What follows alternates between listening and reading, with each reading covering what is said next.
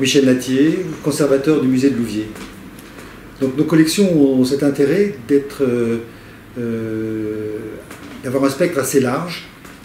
Euh, c'est une collection encyclopédique, hein. ça va de la peinture, de la photo, de l'archéologie, de l'ethnographie, enfin voilà, on balaye à peu près tous les, domaines de la conservation avec un point fort sur les beaux-arts.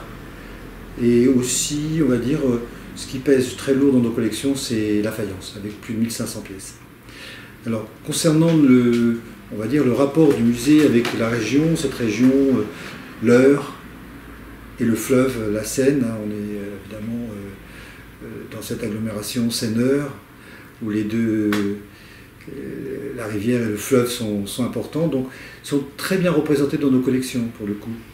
On a, à travers notamment la collection de peinture, la collection de peinture euh, surtout sur euh, euh, le, legs Constant Roussel. donc Constant Roussel est un collectionneur qui, habitait à Saint-Pierre-de-Vauvray. Saint-Pierre-de-Vauvray, qui était, il avait une petite galerie à Saint-Pierre où il entretenait même une colonie d'artistes qui peignaient sur les bords de Seine. Alors tout ça, c'est dans l'esprit de l'impressionnisme. Les artistes venaient, venaient, peindre sur les bords de Seine parce qu'ils avaient été euh, on va dire, euh, euh, intéressé du fait que Claude Monet, que Sisley, que tous ces artistes-là étaient vraiment étaient les grands peintres de, ce fleuve entre Paris et Le Havre. Donc toute une colonie d'artistes travaillait dans, la région. Et nous avons dans nos collections euh, beaucoup d'œuvres qui, viennent donc du lac Constant Roussel et qui montrent justement les bords de Seine. Donc ça, euh, entre de, l'Oise à la Seine-Maritime, on a, on a vraiment euh, pas mal d'œuvres intéressantes. Nous avons eu l'occasion de présenter une partie de cette collection lors de Normandie impressionniste puisque nous participons depuis le début du festival, depuis 2010 à Normandie Impressionniste. Donc en 2013, le thème était euh, l'eau. Donc euh, c'était le moment justement de sortir nos œuvres et toutes ces œuvres qui ont un rapport avec euh, les bords de Seine et l'heure, mais surtout les bords de Seine.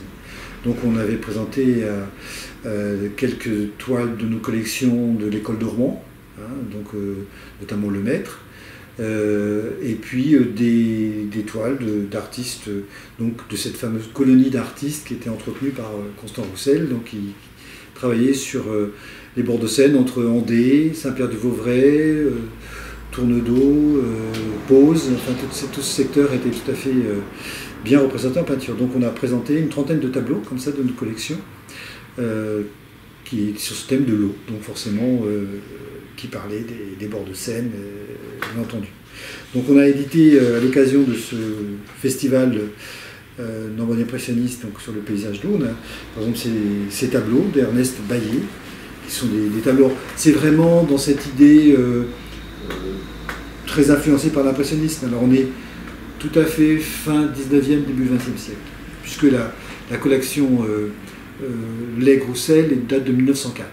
C'est-à-dire que tous les tableaux qui vont rentrer dans les collections sont forcément intérieurs antérieure à 1904. Donc voilà, on est dans cette période 1880-1900. Donc très dans un bain, dans une, dans mouvance impressionniste. Donc les, ce sont des artistes qui ne sont pas forcément tous catalogués impressionnistes, parce que les impressionnistes, il faut savoir que c'est une, euh, un certain, ce sont des peintres qui ont réellement exposé entre 1874 et 1886 dans une des expositions impressionnistes. Donc, euh, il y a beaucoup d'autres peintres qui travaillent dans cette idée d'impressionnisme, mais qui ne sont pas forcément euh, euh, dans le repérés comme tels, mais néanmoins qui ont un vrai travail impressionniste sur la lumière, sur la façon de traiter le paysage. par exemple, Carl Rosa, qui, est tout à fait un artiste connu, mais, qui, fait partie de cette mouvance impressionniste.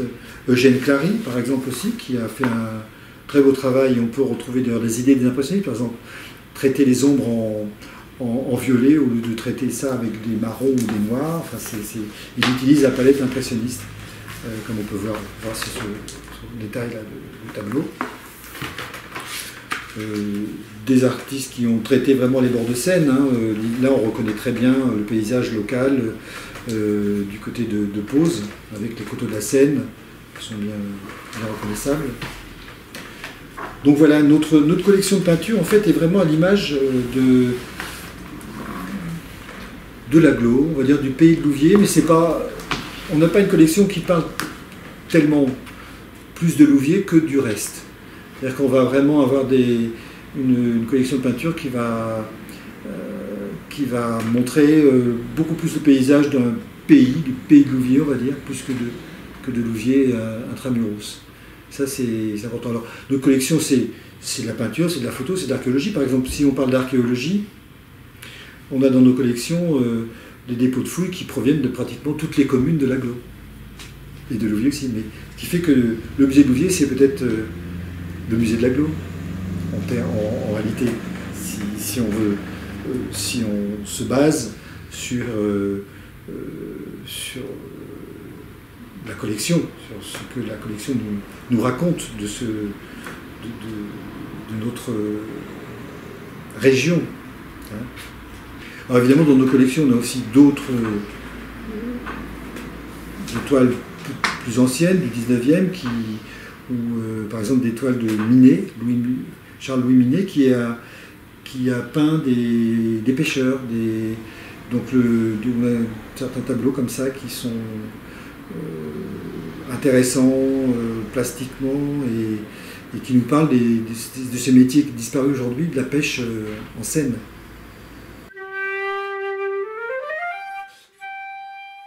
On a la peinture, on a donc la photo, les photos de Fogas euh, qui sont vraiment aussi exemplaires euh, parce que Fogas c'est un, c'est photographe qui va amateur, mais au 19e siècle, être photographe amateur, ça n'a pas le même sens qu'aujourd'hui. Ce sont souvent des, gens qui ont qui pratiquent la photo avec un de façon artistique, qui sont qui ne se contentent pas d'aller photographier euh, juste euh, euh, le bout de la rue comme ça pour faire de la photo. Ce sont des gens qui prennent, qui prennent le temps d'aller d'aller faire des photos dans le paysage parce qu'il y a une certaine lumière, parce qu'il y a une composition, il y a une vraie recherche picturale. Et, Fougas fait partie de ces, peintres, de ces photographes qui d'ailleurs a appris la peinture. Il a appris la peinture avec un disciple de Corot, donc il est vraiment dans cette mouvance esthétique du paysage. Et, euh, on a vraiment une très très belle collection de, photographies, euh, donc euh, fin 19e, 1880-1905, qui traite avec talent des bords de Seine et de l'heure.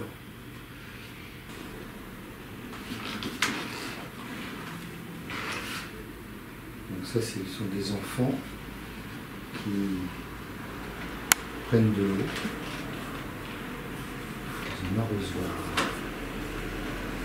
ce sont des photos de Paul Fogas.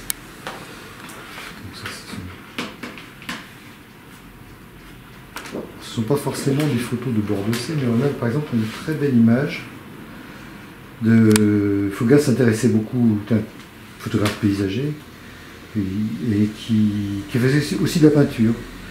Et il s'intéressait à ce rapport euh, de la photo et de la peinture. Ça a dû arriver euh, dans plusieurs photos, on voit comme ça des, chevaliers où il peint le, une photographie scène du pain. Donc ça c'est une briqueterie.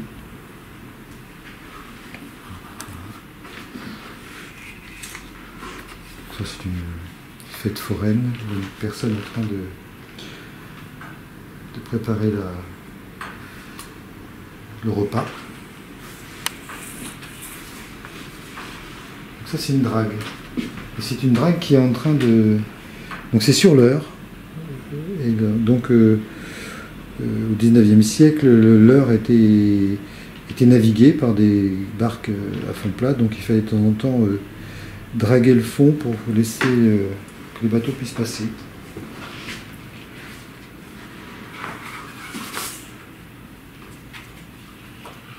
ça c'est cette même, Donc on voit, euh, on voit au fond de l'image, on voit un train à vapeur qui passe. Donc ça c'est à Louviers et ce, pont là, euh, on appelle le pont noir.